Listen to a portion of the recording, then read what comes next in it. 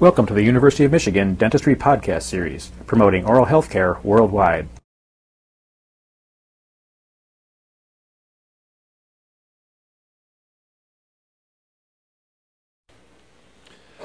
So what do we want to look at today are design considerations for the various types of partial dentures. So we run through the class 1, class 2, class 3, and class 4 partials.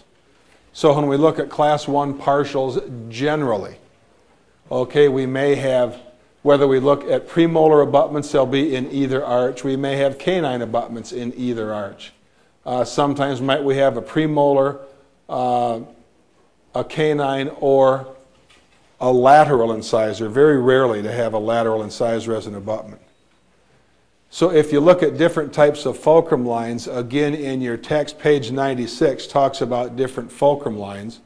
And rather than bore you and go over all that, what you want to look at is there's going to be a fulcrum line axis or a fulcrum line axis for tissue directed forces, meaning when people bite down on hard foods.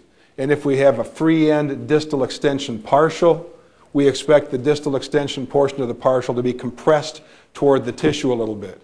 Again, the tissue is more compressible than the teeth are intrudable.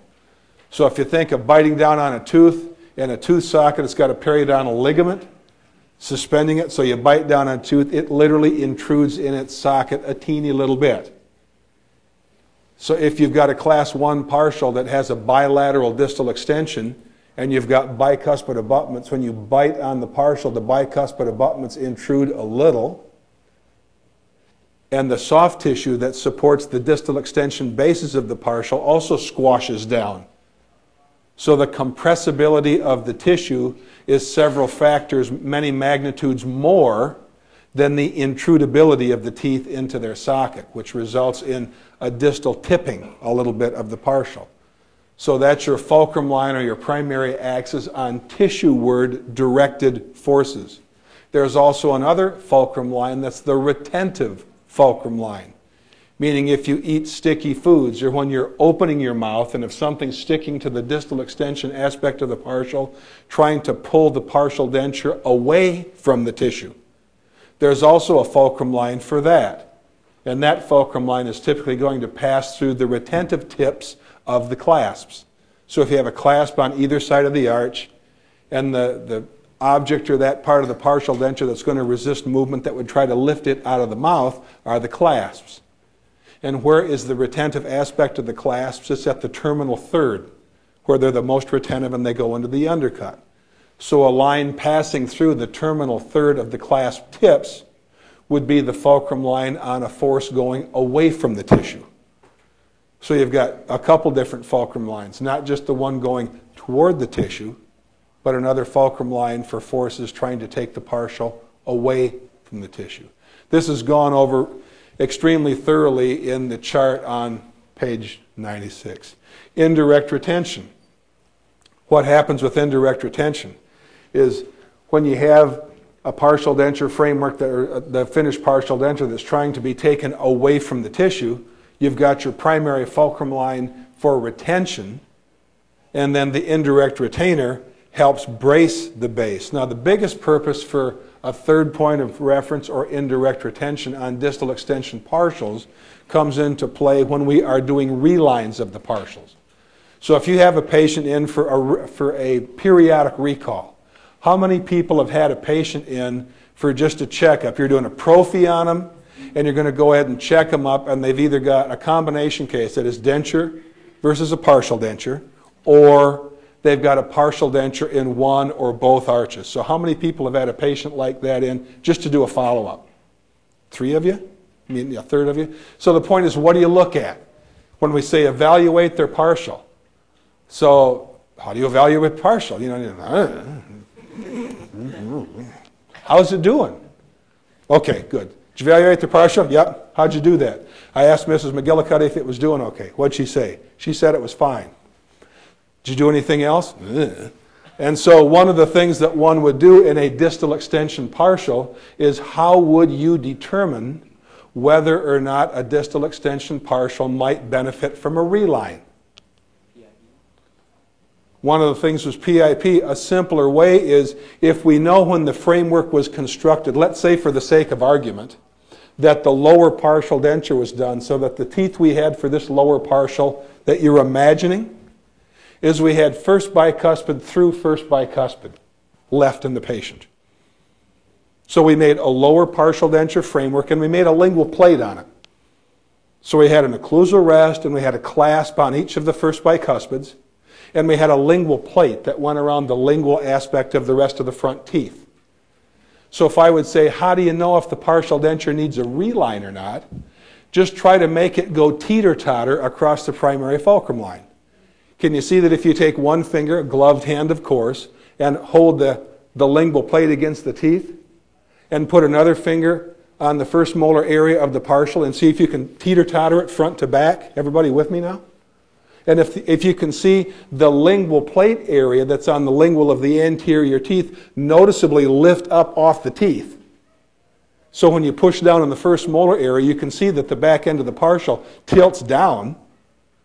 And then that part of the partial framework that fit against the lingual aspect of the lower anterior teeth lifts up in the air and comes up away from the teeth. Can you see the only thing that can cause that is if the gum tissue on the underside of the distal extension base has remodeled, has resorbed and reshaped itself. So the gums under the distal extension base don't fit up under the partial as good as they did when it was first made. So when a brand new partial is put in, and you look at it and you see if it'll teeter totter front to back, if it's bilateral distal extension, you don't expect to see a lot of this tipping back and forth on a new partial over time, a year, two, three, four, what's going to happen is the soft tissue is going to remodel a little bit. So when you go to do that same pushing back and forth, the tissue isn't supporting the back end of the partial. It goes down, and your indirect retainer is your point of reference, because if that lifts up off the teeth, it's telling you that you've got teeter tottering. Question.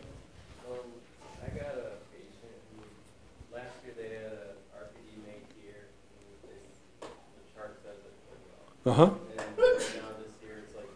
Teeter totters a lot. Mm-hmm.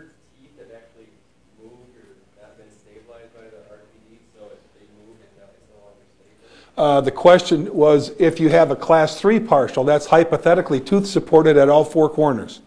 So there is no distal extension. And at least according to the record, as much as we can believe the record, the the provider at the time said things fit well and everything was okay at the time it was delivered. You now are the poor sucker who's doing the recall a year later and you're cleaning their teeth or you're doing whatever and you try this class 3 partial denture in and it seems like it rocks quite a bit. It just doesn't fit on the teeth very well. We'll go over class 3s in a little bit here, but if, a, uh, if basically your partial denture is tooth supported all the way around, would any change in the soft tissue, okay, if the gums reshaped a little bit, would that in theory have an effect on the fit of a class 3 partial? Nothing to do with it because it's tooth supported all the way around. Now, typically, if a patient is being compliant, I'll say that again, if, underline three times, if a patient is being compliant, and wearing their partial on a regular basis, would you expect that the partial denture framework fitting on the teeth will help stabilize the teeth in that position when the partial is delivered, if in fact things fit well, which they said it did in the record?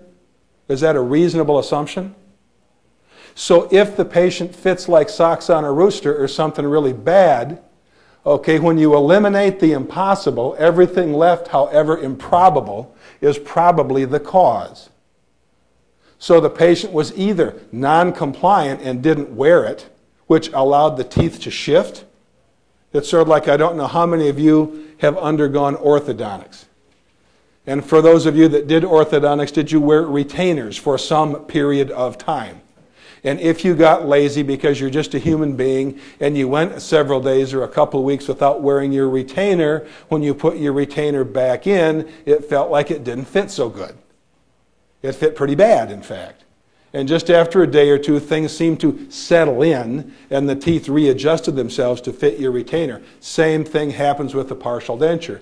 So if I have a situation like you have, I either assume one of two things. The patient was non compliant and didn't wear their partial for some period of time. It's been in the dresser drawer most of the time, and they put it in for when they came in to see you, so now it's your fault because it doesn't fit. Or they dropped it, or the dog got a hold of it, because patients lie. You know, it's all my fault. You know, you're stopped by the you're stopped by the cop, so you see the gum machine come on in your rearview mirror, right? So what's the first words out of his mouth? Do you know how fast you were going, ma'am? Do you know how? No, officer, I didn't have any idea. I'm the Virgin Mary here. What happened? You know, so it's sort of like people are not the best at saying, I was doing 20 over, I'm in a hurry, it's my fault, put the cuffs on me, it's all my fault. Probably if you said that, that you could blow the officer over with a feather and they'd let you off with a warning just because they'd be so blown away that somebody was just upright honest with them. So to answer your question, my greatest suspicion in that circumstance is they were either non-compliant with wearing the parcel and the teeth shifted, or they dropped it and it got bent. Go ahead. Mm-hmm.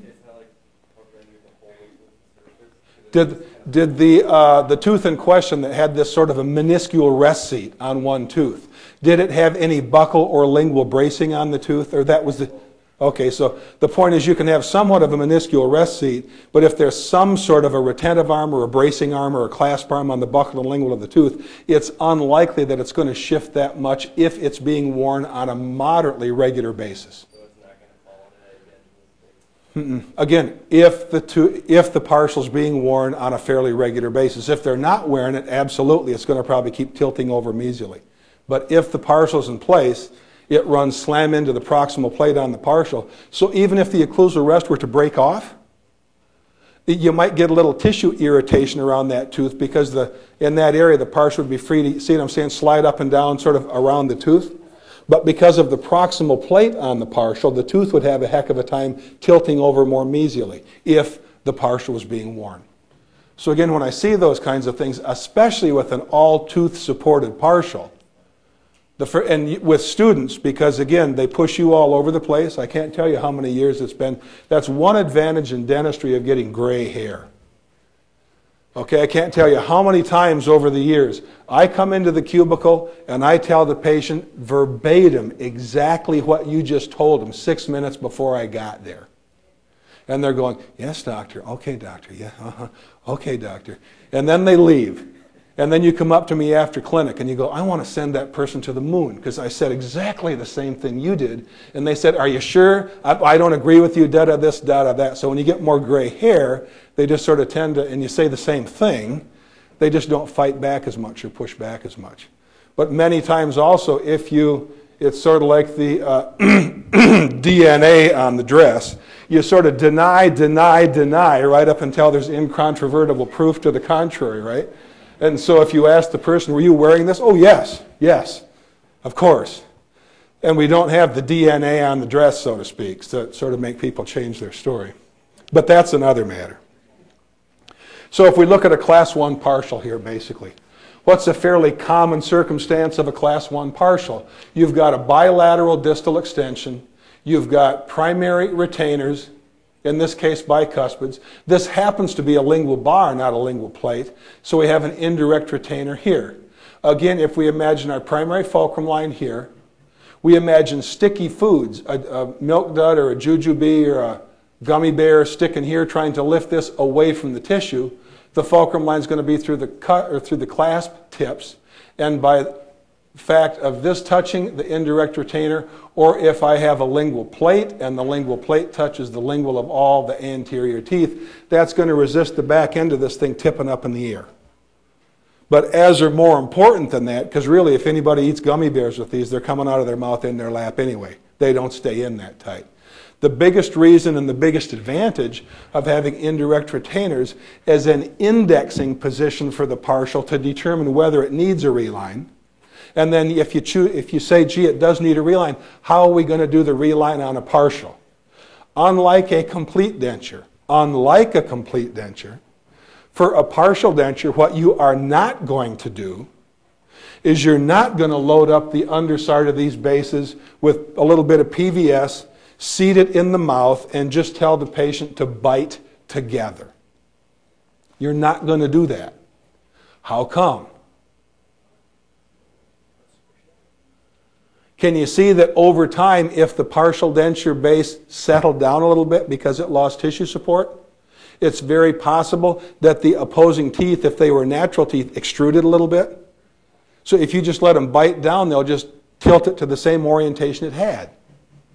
So if you go ahead and put your PVS in the underside of the bases, seat the partial denture framework in, and carefully hold firmly the partial denture framework so that the primary occlusal rests are down and the indirect retainers down. If it's a lingual plate, you hold it so that you're sure that that lingual plate fits down and tight against the teeth. So you're holding the framework in its proper orientation to the teeth, which is essentially just suspending the free end of the partial in space over the top of the gums, and your impression material is making up the difference, retreading a tire. People get that okay? You send it off to the lab, the lab relines it. So now it comes back, it's got new plastic under it. You fit it in the patient's mouth, you ask him to bite down. What do you expect to see concerning the occlusion? It's too high in the back. So then you just adjust the occlusion on the partial as necessary to get it so that now the partial doesn't rock front to back. The bite's even, but we may have adjusted the occlusion on the partial a little bit because if, in fact, the distal aspect of the partial sank down because of loss of support where the tissue changed, it's reasonable to assume that the occlusion of the opposing arch followed it down, which is why you don't just have the patient, quote, bite together when you're relining a partial. You orient the framework correctly to the teeth. And that's where the indirect retainers come in as a really good third point of reference for situating the framework on the teeth and knowing it's well seated. It's also a great, as I said, it's a great device for telling whether the partial denture is rocking. Has it lost base support? Easiest way to tell is to see does it teeter-totter. So you look at, here's an uppercase. Now, you don't see that much tissue change over time with maxillary partials.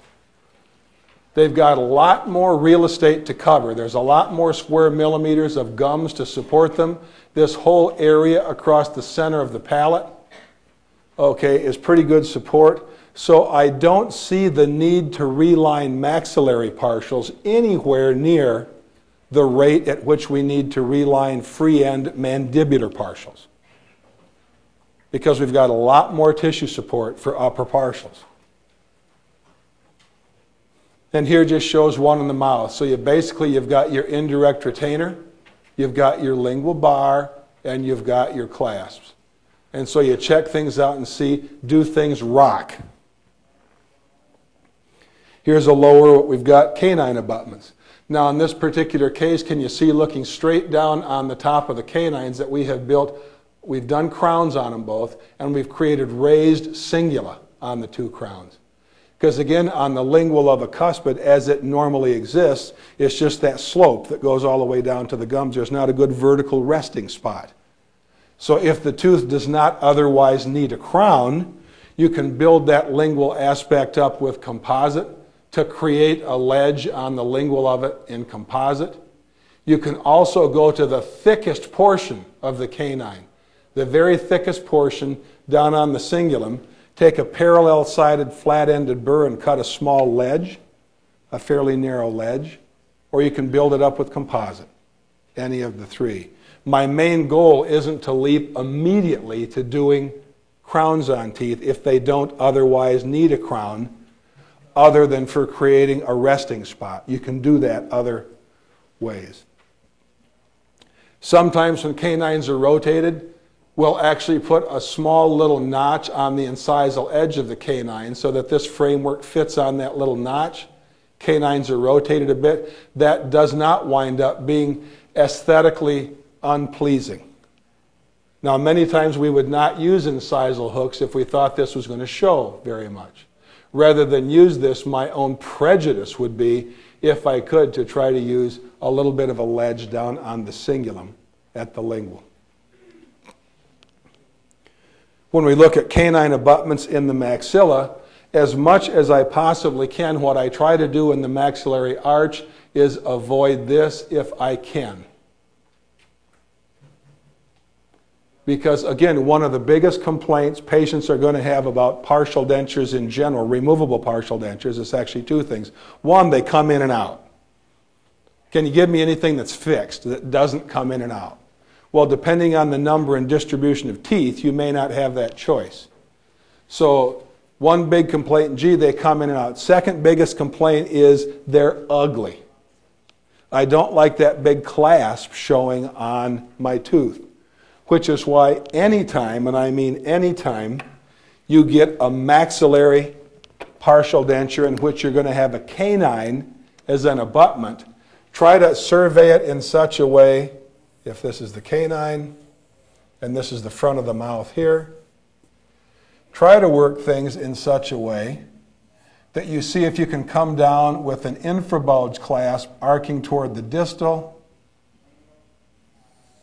so this is the greatest convexity of the tooth. If you look at this from the incisal edge, cuspid teeth or canine teeth, when you look at them from the incisal, have two faces. They're sort of a distal face and a mesial face, and it sort of comes around like this. And if this is the front of the mouth, anything you can get from here back tends to hide. So the cheek is hiding it a little bit. If you can create an infrabulge clasp with a modified T or an I at the distal labial aspect of the tooth, close to, as close to the gums as you can get it. Again, when you're surveying these casts, the whole idea about trying to reshape the labial aspect of the tooth to get the height of contour as low as you can toward the gums. I'd like my ten thousandths of an inch of undercut to happen ideally about 0.5 millimeters from the gums. Because can you see the closer you get your clasp to the gums, two things happen. One is it's better mechanically because you're grabbing closer to where the tooth comes out of the bone. But secondarily, it's just nicer looking aesthetically. Because on an uppercase, if the clasp is way up toward the gum, depending on where the patient smiles, their lip doesn't come up above the clasp, so you don't see it. And if you're hiding it around the distal labial of the tooth, you don't see it. So over the years, I just see lots and lots of partials on maxillary cases where there's a canine involved that, as far as I'm concerned, are just butt ugly. Because somebody didn't take the time to take a study model and survey the darn thing and see where is the height of contour. Can I come up with a survey that will, that will give me a height of contour that tries to be at the distal labial? And then I try to get a good enough impression so I hope that I don't have a lot of undercut of soft tissues to contend with up deeper in the vestibule from where I want to come down on that tooth. Because if I've got real severe undercut up in the soft tissue in that area, then it's difficult to do an infrabulge clasp. But on maxillary partials, wherever there's a cuspid involved, I really like to do an infrabulge clasp if I can at all, and that's what's drawn here. The thing I would change on the drawing is I would not take it to the mid labial. I would take it to the distal labial, sneaking it around this back corner. Now, if I do that, one of the other principles I've got to do is I've got to grab around that tooth more than 180 degrees so the tooth doesn't move over time away from the partial denture framework. So that means I need to get some aspect of my framework as far up around that mesiolingual, as far up there as I possibly can. So if my clasping is at the distal labial, I need to get my indirect retention or my occlusal rest or something as far around the corner, around the mesiolingual as I can, so I get more than 180 degrees of encirclement of the tooth, so it doesn't move over time. And so here's some other cases where we'll do these. This is starting to get to the right idea, but it's sort of like if we carried it clear over to the mesiolabial corner and then went back, right idea, but it's sort of like, hmm, screwed that one up a little bit. Because if we were doing this anyway, why didn't we just come down, arc up a little further, and have the anterior most aspect of that T-bar be just about mid-labial on the cuspid or a little bit distal to mid-labial? So my clasp engaging was right here because this, when the patient smiles, just jumps right out at you. It's sort of like this chrome hubcap looking at you when they drive by. Pretty. Who did that for you? Dr. Shotwell. Well, I'll be sure to tell all my friends about that. That's great. And if you have a modification space, same thing here. You've got your class 1, because it's bilateral distal extension, happens to have an anterior modification space. Class 2s, okay, what do we got? Class 2 is a unilateral free end, upper or lower. So what have we got here? Basically, you've got your primary occlusal rest, your primary occlusal rest, your indirect retainer. Your fulcrum line runs through the occlusal rest if we're talking about the fulcrum line that is concerned with tissue-ward movement. If you bite down on food in this area and you try to push this down, your fulcrum line runs across these occlusal rests. Your retentive fulcrum line, if sticky foods are trying to lift the partial away from the tissue, is going to go through the retentive tips of this clasp and this clasp. So this is your fulcrum line if it's for occlusal-ward forces. If it's for sticky forces trying to remove the partial, and the retentive fulcrum line goes from the tip of the cusp, or I'm sorry, the tip of the clasp to the tip of the clasp. So that would be the removal fulcrum line. Class 2 upper, same kind of a thing. You've got a unilateral distal extension. Okay, we've basically up here got our primary retainer, our primary retainer, indirect retainer, third point of reference. Here again, they happen to put a T-bar clasp on this. What I would do a lot of times, if I could take a high-speed handpiece or a carborundum disc, if I had a reasonable retentive contour at this distal labial aspect, I'd try to recontour this and cut this part off. Again, the curvature of this infrabulge aspect, if I can get that to come down a little bit distal to the point of greatest convexity, I hide the whole thing better. Now, with a lot of these patients, when you're assessing the patient and you're thinking about what you might be doing for clasp design on any of these patients, male or female, when they're in and you take your preliminary impressions, one of the things to do with the patients is just get them so they moisten their lips. Lips are nice and relaxed. You ask them to smile. And then you ask them to put a really fakey smile on that's so hard it's going to break their face and see how high they can really fakey smile. And you may get some people that even on the fakey smile, their lip doesn't get up far enough so that that's an issue. But that's useful information. That's useful information. Because if a person has a really high smile line, then you want to do anything you can to try to hide or diminish how obvious the clasp is. And to that end, it's going to work out better if you survey these things and be looking real hard for retention at the distal labial aspect of the tooth Hope that you do not see a frenum attachment coming right in there or a big soft tissue undercut. Soft tissue undercuts bother me more than frenum attachments. If aesthetics is a big deal, the patient can't afford a precision attachment of some sort, and I got a frenum in there, what do you suppose I'm going to do? I'm going to call up my friendly neighborhood periodontist, or if you do it yourself, and I'm going to do a frenectomy. I'm just going to cut it out of the way so I can put my clasp where it will be aesthetically the most pleasing, and I'll just lose the frenum at that point. If there's a huge soft tissue undercut, that's a little more difficult to deal with. But if it's a frenum that's in the way, you can consider doing a frenectomy to maximize the aesthetics of your clasp.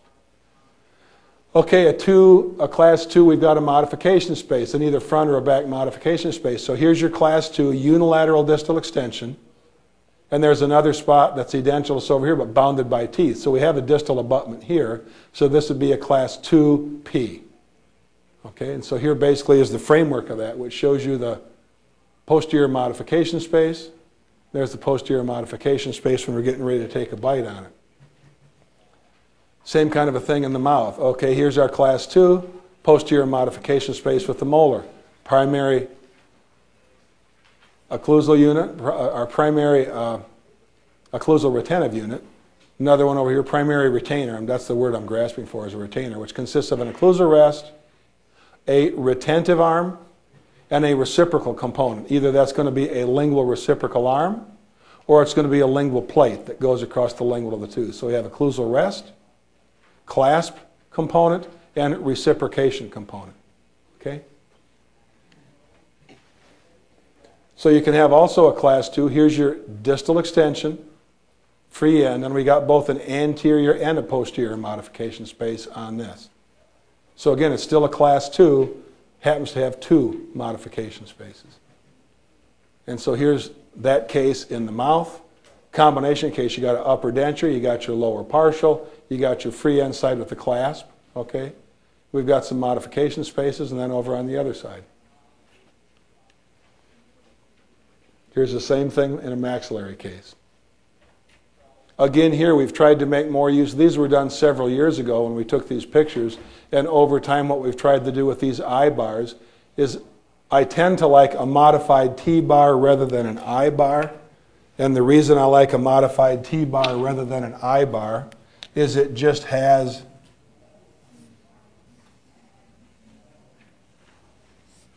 it has a bigger footprint it touches more tooth than this. And again, if I can try to hide this around the back corner of the tooth, I don't think I pay an aesthetic price for that. But it used to be one of our former faculty loved doing these, and he would, he would try to make these things like jewelry. So they really got, so they were really fine, barely showed up at all. What do you suppose the downside of that was? That they didn't necessarily break, they just came out of retention real quick. So you didn't have a big enough footprint, and this arm that came down just wasn't stiff enough that they were back all the time getting it adjusted, which over time led to what one individual said is they'd break. So if I've got just a slightly more robust arm here, and it doesn't have to be like a truck bumper, okay, on a Kenworth semi going down the road, it doesn't have to be that big. But I find that the little foot going toward the distal just gives me more square millimeters of contact with the tooth than that little area of the I bar will. But again, I try not to have this thing come down mid-labial on the tooth. I want it to come down toward the distal labial aspect because it's going to give me a more aesthetic partial. And depending on the patient's smile line, they just don't show up that much. It works out really well. Class 3s, which pertain to one of the questions asked earlier. If I've got a class 3, hypothetically, I shouldn't have to deal very much with the resorption of the edentulous ridges. So if I've got an area in here or an area in here, when you get to the mouth, both of these areas where they're edentulous are bounded by teeth. So when this person bites down really hard on their partial, they're not squashing the gums because the partial is tooth supported all the way around. So if this was delivered last year, and then you wind up getting the patient 11 or 12 months after this was delivered, and they're telling you it doesn't fit worth the tinker's darn, again, all you can go by is what's written down in the Form 6. So if the Form 6 says everything fit just peachy at the time it was delivered and the occlusion was good, and it doesn't fit so good now, my first supposition is the patient either has not been compliant about wearing it or it got dropped. It got dropped. And in either case, what's going to happen is if the framework gets sprung, you can try to fiddle and fix it, but it's not going to work well. If the partial is not being worn, as was asked before, this distal molar and this distal molar, it's very likely that they may in fact be pounded a little more mesially. So that distance from the mesial marginal ridge of this tooth to the distal proximal of this tooth will have decreased a little bit. And if you try to seat the partial down in, it'll seem really, really, really tight because what's happening is your partial denture is now acting like an orthodontic appliance.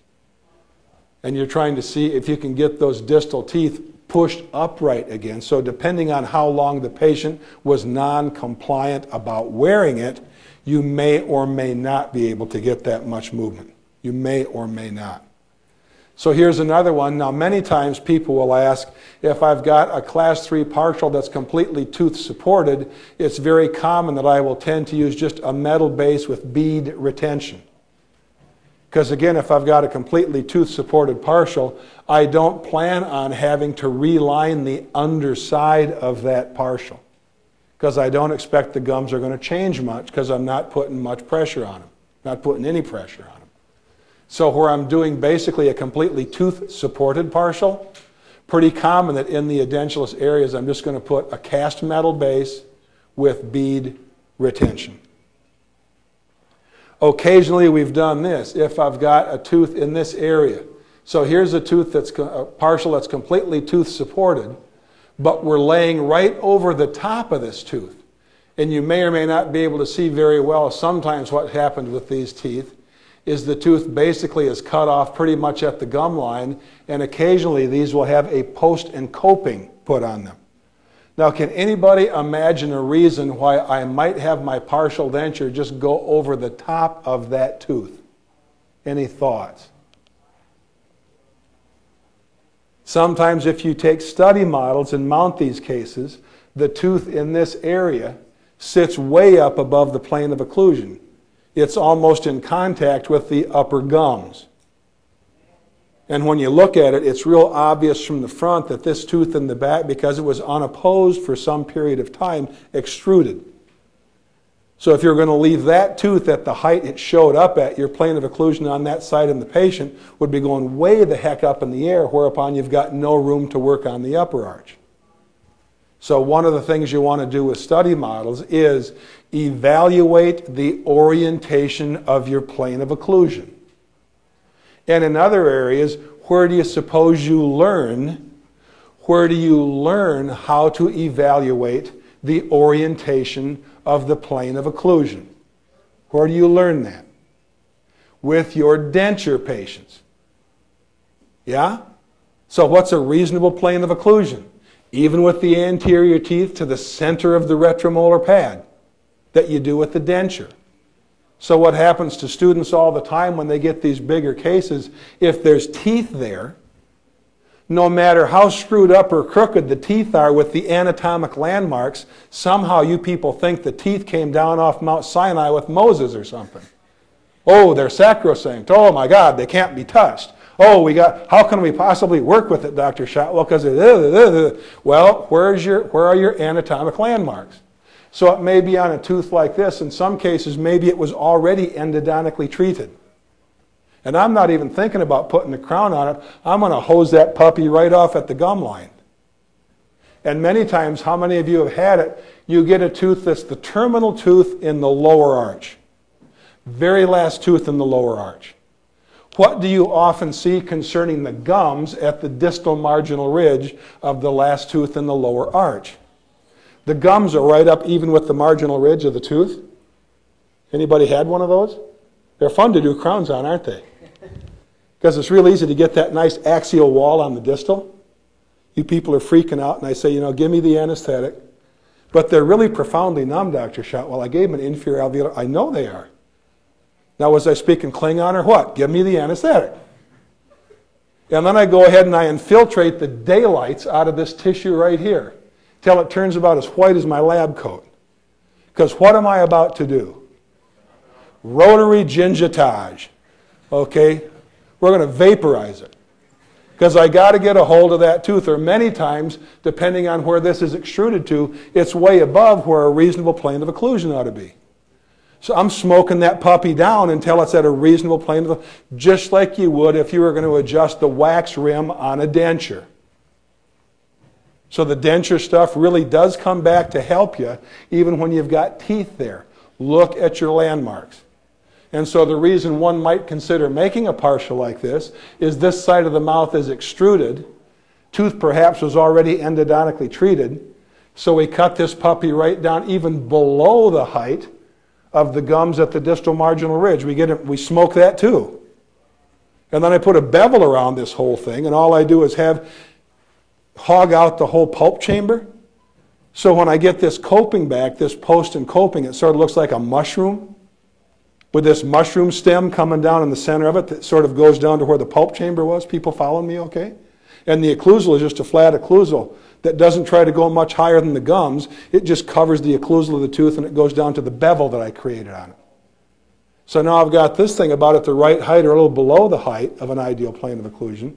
Then I can take my partial and just rest it right over the top of it. I have no intention of putting a tooth on top of this. My teeth are going to be up here, but my plane of occlusion will now be even and level. And it won't be going way the heck uphill on the side where the tooth was extruded. So look at some of those things when you're thinking about these. So here's a class 3 all tooth supported with an anterior modification space. Here's another class 3 in a maxillary case. So you basically got teeth over here, okay? You can see you just come across the palate. Sometimes you affectionately refer to these things as a closed palate or a toilet seat for obvious reasons. And so you can go ahead and not cover too much of the palate. But the thing here is, if you look at this and say, well, why wouldn't I just choose to do that longer span? We'd have three pontics. Can anybody give me some reasons why I might not choose to do that as a fixed partial denture? Why wouldn't I do it as a bridge? Do people feel comfortable about that length of a span? It's getting pretty long. Now you're going ahead and you're putting a crown on a cuspid and you're putting a crown on a molar. Again, the thing you do is you remember way back in the depths and the recesses of your brain in Dr. May's lecture something called Ante's Law. Anybody vaguely remember what Ante's Law talked about?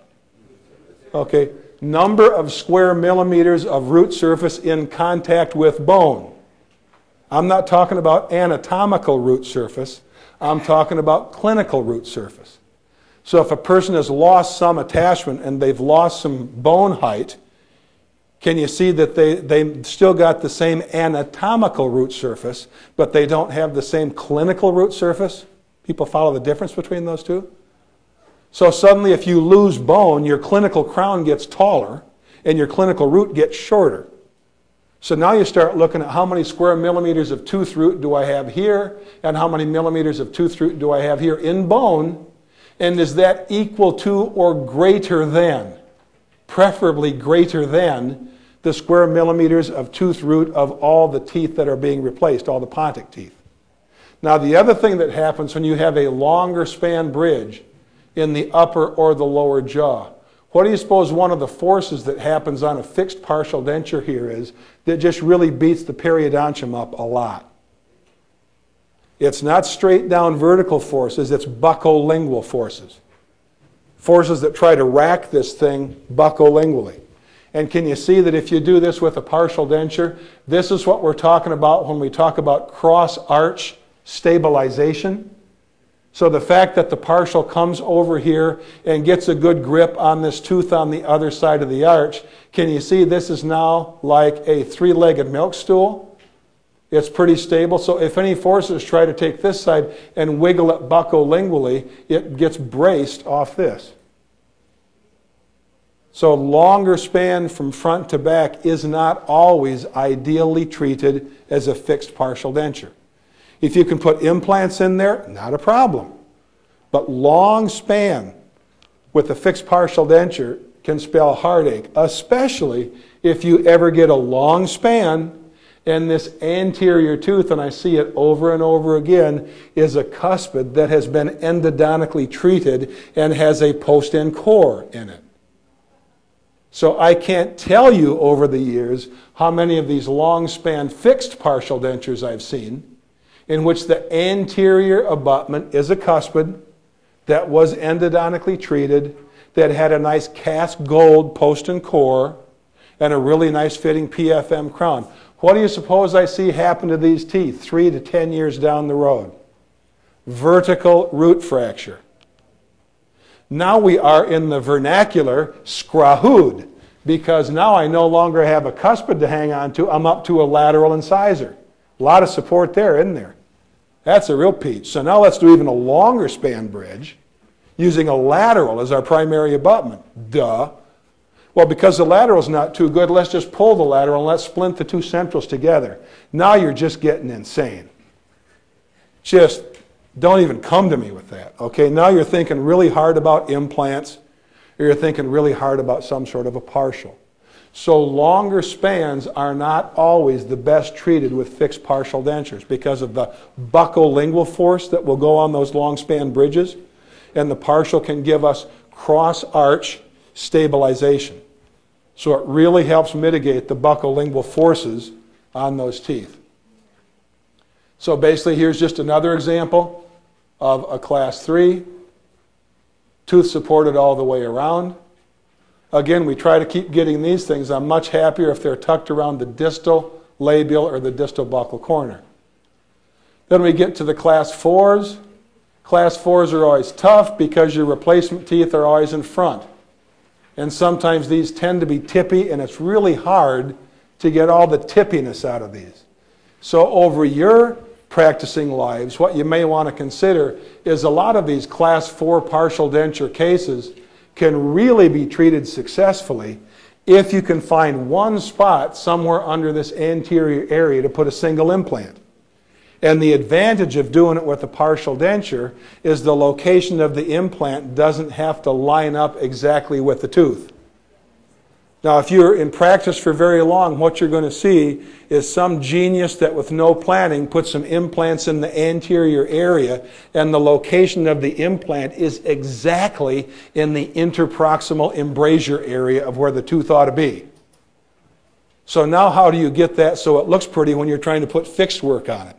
As they call it takes restorative ingenuity. It's sort of like, yeah, right, it's called pink porcelain to try to cover up your screw up. Okay, so on these, if you're doing it with a partial denture, you can just put a single implant anywhere across here, put a Zest Locator on it, and it's going to work really well. Very seldom, to show you this one, it doesn't happen often. If you have one of these people that's got class 3 lower arch, it seems like all the teeth sort of toe in lingually. When you survey it, you can't fit anything on the lingual of the teeth, not very often, but occasionally we will do a labial bar. So all the teeth are leaning so far lingually, we can't fit anything down lingually. So the partial goes out here, and as luck would have it in most of these cases, the lip conceals that pretty well. Most of the time now, would you choose to do that as an implant? Absolutely, you would choose to do it with, as an implant. On these big cases, the more teeth you're replacing up here, the more difficult it is to have these not have that anterior tipping phenomena. And in your practicing lives, unlike mine, one of the things I would try to be telling anybody with this situation is to try to get a an implant up here somewhere to brace the anterior aspect to this. Many times with class fours, when they come back for recalls, this is what you see because of that tippiness.